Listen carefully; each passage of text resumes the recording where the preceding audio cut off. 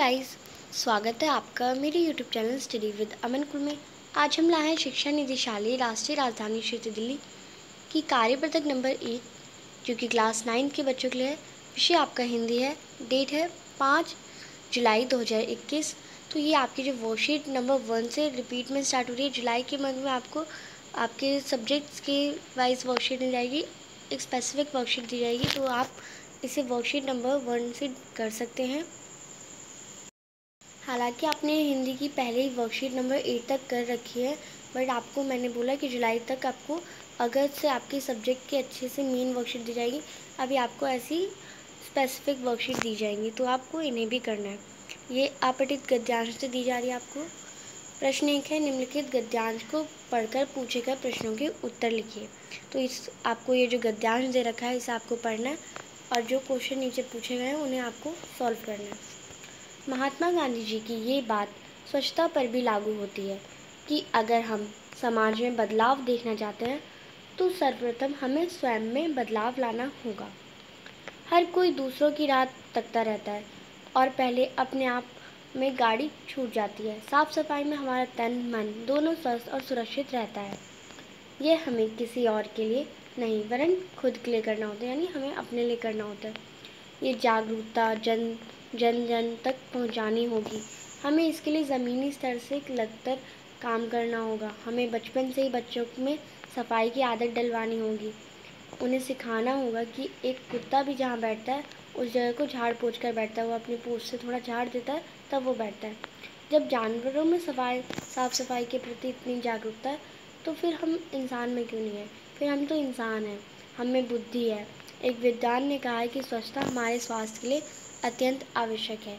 यदि हम अपने जीवन में स्वच्छता को अपनाएँगे तो निश्चित तौर पर हम स्वस्थ और प्रसन्न रहेंगे। स्वच्छता एक वरदान है जो मनुष्य को निरंतर प्रगति एवं विकास की ओर आगे बढ़ने की प्रेरणा देती है। स्वच्छता का पालन करने से हम बीमारियों से तो बचेंगे ही। जीवन के नए नए अध्याय कोशिश करके सदैव आगे बढ़ते रहेंगे।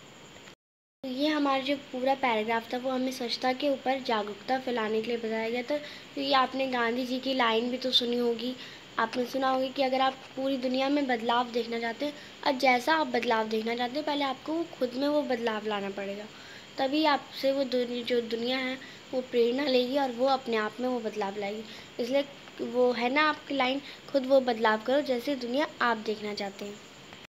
तो ये इसी पैराग्राफ से आपको पाँच इजी से छोटे से क्वेश्चन दिए गए हैं। इन क्वेश्चंस को करते हैं, हम बीमारियों को किस तरह बचा सकते हैं? किस तरह बीमार बचा सकते हैं? बच सकते हैं, किस तरह हम बीमारियों से? तो आप इसका आंसर करेंगे। हम अपने घर में और अपने आसपास साफ़ सफ़ाई रखकर बीमारियों से बच सकते हैं। तो ये आपका प्रश्न नंबर एक हो जाएगा। प्रश्न नंबर दो है, स्वच्छता को एक वरदान कहा गया है।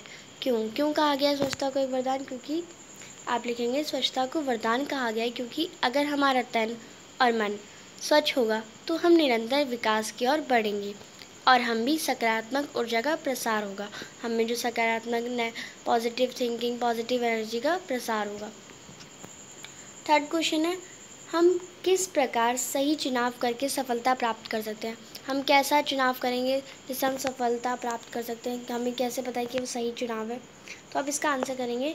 हम स्वयं से शुरुआत करके और स्वच्छता को अपनाकर सफलता का प्राप्त कर सकते हैं। तो हमें अपने खुद से स्टार्ट करना चाहिए। ये नहीं कि वो करेगा तो मैं करूँगा, ऐसा नहीं करना है। हमें खुद से स्टार्ट करना है स्वयं से। क्वेश्चन नंबर फोर्थ है समाज में बदलाव लाने के लिए हमें क्या करना होगा? क्या करना होगा हमें समाज में बदलाव लाने के लिए? समाज में बदलाव लाने के लिए सर्वप्रथम हमें स्वयं में बदलाव लाना होगा। हमें समाज को नहीं देखना। अगर हमने खुद में बदलाव लाया तो लोग हमसे प्रेरित होकर अपने आप में बदलाव ज़रूर लाएँगे। तो आपको अपने में बदलाव लाने हैं जिससे समाज में बदलाव ज़रूर आएगा। क्वेश्चन नंबर फिफ्थ है, उपयुक्त गद्यांश उचित शीर्षक दीजिए। यानी जो आपने अभी गद्यांश पढ़ा, उसका आपको एक नाम देना है, शीर्षक देना है तो आप क्या देंगे? तो इसका हम ये हमारा स्वच्छता से रिलेटेड था तो हमने इसे स्वच्छता दिया। इससे अच्छा आपको मिल भी नहीं पाएगा तो आपको स्वच्छता ही शीर्षक दीजिए। और आप कुछ और लिख सकते हैं, कोई और आपको अच्छा लगता है तो आप वो भी मुझे कमेंट सेक्शन में ज़रूर बताइएगा। तो आज की हमारी वीडियो कंप्लीट होती है। वीडियो अच्छी लगी हो तो लाइक करिए और सभी दोस्तों शेयर ज़रूर करिए। अपने क्लास ग्रुप पे शेयर करिए। आप देख रहे हैं तो अपने दोस्तों के साथ भी शेयर करिए। और चैनल को सब्सक्राइब कर लें। ऐसी अमेजिंग वीडियोस के लिए आपको रोज़ डेली वर्कशीट की वीडियोस हमारे चैनल पे अपलोड मिल जाएगी। आप हमारे टेलीग्राम ग्रुप ज्वाइन कर सकते हैं और हमें इंस्टाग्राम पे फॉलो कर सकते हैं। लिंक डिस्क्रिप्शन में। Thanks for watching video bye bye guys